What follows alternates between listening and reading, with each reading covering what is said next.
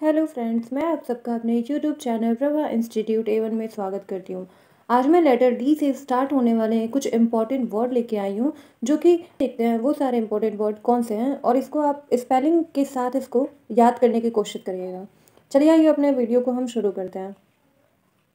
देखिए, पहला वर्ड क्या है? डबल डबल का मतलब होता है भिगोना या छिड़काना छिड़काना, छिड़काव जिसको कहते हैं, उसको डबल भी कहते हैं, ठीक है? छिड़काना या भिगोना।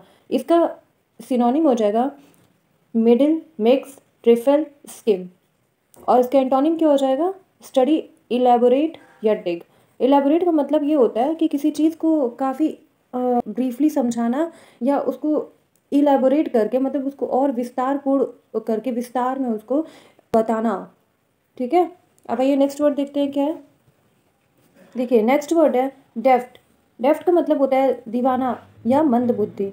इसका, दीवाना का मतलब ये हो जाएगा जिसकी मंद बुद्धि होती है, जो मतलब चंचल होता है। कह सकते हैं हम लोग ऐसा कि पागल व्यक्ति, जो पागल व्यक्ति होता है डेफ्ट भी बोलते हैं, ठीक है? इसका सिनोनिम हो जाएगा सिली या इनोसेंट मतलब जो इनोसेंट होते हैं सिली सिली का मतलब होता है जो थोड़े से कम दिमाग वाली बातें करते हैं और, या जो जो लोग इनोसेंट होते हैं, जो चीज़ों को समझ नहीं पाते हैं तो उन उनको भी कहते हैं। इसका सिनोनिम हो जाएगा डेफ्ट का सिनोनिम हो जाएगा और एंटोनिम क्या हो जाएगा? सेन साउंड या सेंसिबल सेंसिबल का मतलब होता है कि जो सेंसिबल चीज़ें होती हैं, इंसान उस चीज़ को समझ रहा है और साउंड का मतलब उसकी बातें जो है, वो लोग सुन रहे हैं और समझ रहे हैं कि हाँ वो क्या कह रहा है। ओके तो हो जाएगा डेफ्ट का क्या हो जाएगा? एंटोनिम हो जाएगा। ऑपोजिट वर्ड क्या हो जाएगा? सेन साउंड और सेंसिबल नेक्स्ट वर्ड देखिए क्या है? नेक्स्ट वर्ड है dainty small and attractive in delicate way जो लोग अट्रैक्टिव होते हैं और डेलिकेट वे का मतलब हो जाएगा, जो चीज़ें कॉमन नहीं होती हैं, उनको बोलते हैं, ठीक है? Small and attractive in delicate way okay इसका सिनोनिम हो जाएगा चॉइस रेयर या टेस्टी एंटोनिम हो जाएगा नेस्टी डॉटी या कॉमन जो चीज़ें कॉमन होती हैं, ठीक है? डेंटी जो होता है वो रेयर होता है और इसका ठीक उल्टा मतलब ऑपोजिट क्या हो जाएगा? जो चीज़ कॉमन होती है। आइए देखते हैं नेक्स्ट वर्ड क्या नेक्स्ट वर्ड है डैस डैस का मतलब होता है मंच मंच का मतलब जहाँ पे लोग जाके कोई परफॉर्मेंस देते हैं या अपनी योग्यताओं को दिखाते हैं और या तो फिर कोई स्पीच देते हैं तो उसको मंच बोलते हैं। इसका सिनोनिम हो जाएगा पोडियम पोडियम का मतलब ये होता है कि जो लकड़ी का नहीं बना होता है, जिसके पीछे लोग खड़े होकर के या तो पोयम सुनाते हैं या तो कोई माइक लगी होती है तो उसको पोडियम बोलते हैं। और पल्पिट स्टैम्प ये सारे इसके सिनोनिम हो जाएगा और एंटोनिम इसका नहीं होता है, इसका एंटोनिम, वैसे इसका एंटोनिम नहीं होता है तो आप लोग, मैंने एंटोनिम यहाँ पे नहीं लिखा है कन्फ्यूज़ कन्फ्यूज़ मत होइएगा।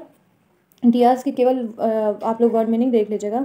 डायस का डायस का केवल मीनिंग देख लीजिएगा कि पोडियम पल्पिट और स्टैम्प होता है ओके नेक्स्ट वर्ड देखिए क्या है डेली डेली का मतलब होता है विचरना या इटलाना समथिंग लाइक प्ले कोई चीज़ ऐसी मतलब खेलने वाली जो चीज़ होती है, उसको बोल सकते हैं हम लोग डेली इसका सिनोनिम देखिए क्या हो जाएगा टॉय कैरस और लॉटर और इसका एंटोनिम क्या हो जाएगा? हैसन पुश रन ओके आइए देखते हैं नेक्स्ट वर्ड क्या है?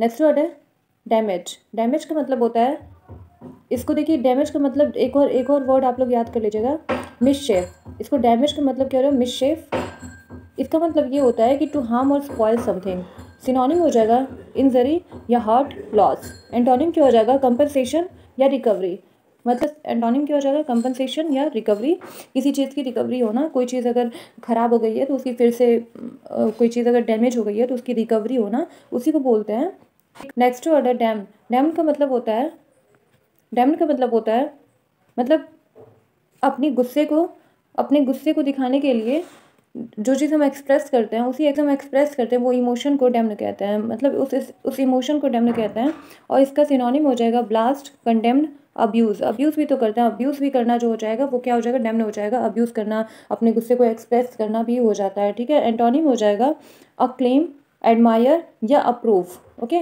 आइए नेक्स्ट नेक्स्ट वर्ड देखते हैं क्या नेक्स्ट वर्ड है डैम्प डैम्प का डैम्प का मतलब होता है समथिंग स्लाइटली वेट मतलब जो चीज़ नमी भरी होती है, नमी का मतलब होता है मॉइस्चर जो चीज़ मॉइस्चर कंटेन जैसे मिट्टी होती है, मिट्टी मॉइस्चर कंटेन कर लेते हैं इन्वायरमेंट होता है इन्वायरमेंट जो होता है मॉइस्चर कंटेन कर लेता है तो ह्यूमिडिटी बढ़ जाती है तो वैसे ही डैम का डैम्प का मतलब हो जाएगा एनी थिंग या फिर समथिंग लाइट स्लाइटली वेट जो गीला हो, उसको हम लोग कह सकते हैं डेप्ड जैसे इसका सिनोनिम हो जाएगा डल वेट या ह्यूमिड और वही इसका एंटोनिम ठीक इसका उल्टा हो जाएगा क्या? ड्राई ड्रेंच या इनकरेजिंग ओके नेक्स्ट वर्ड देखिए क्या है?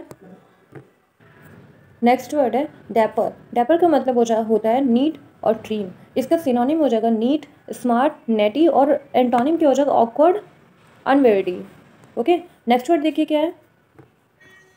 नेक्स्ट वर्ड है डिकेड डिकेड का मतलब होता है रॉटेन करप्ट या अनसाउंड और वही इसका एंटोनिम हो जाएगा साउंड होलसम या फ्रेश इसका मतलब होता है डिकेट का मतलब देखिए क्या होता है. डिकेट का मतलब होता है rot and decompose through the action of bacteria and fungi इसका मतलब यह है कि कोई डिकेट का मतलब होता है, जैसे कोई चीज़ डिकम्पोज हो जाती है, किसके थ्रू बैक्टीरिया और फंगस के थ्रू फंजाई के थ्रू जो है, वो चीज़ डिकेड हो जाती है, वो चीज़ डिकम्पोज हो जाती है।